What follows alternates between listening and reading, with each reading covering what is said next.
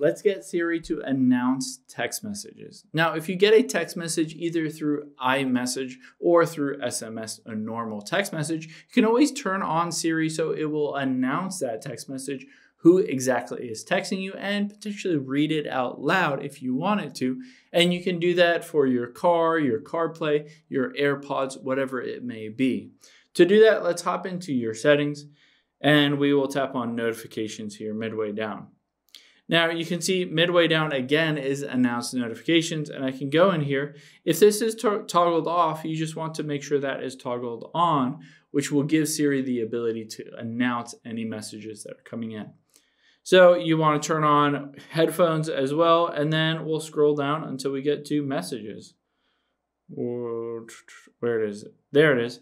And we will turn this on. So it says have Siri read out loud notifications from messages. Siri will avoid interrupting you when you're listening after reading notifications. So you can choose all notifications or time sensitive and direct messages.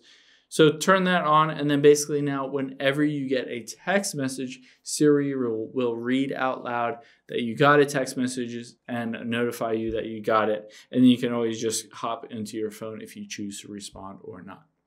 Hope this helps. If you have any questions on that, leave them in the comments down below, and I'll catch you on the next one.